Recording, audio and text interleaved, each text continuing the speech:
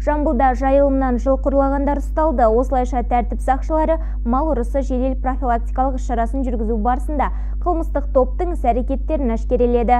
Тергеу барысында күдіктілердің алдын ала сөз байласу арқылы Байзақ, Жамбыл аудандарының аумағындағы жайылымдардан бірнеше рет жылқы малын ұрлап, содан кейін оларды сойып сатумен айналысқаны белгілі болды.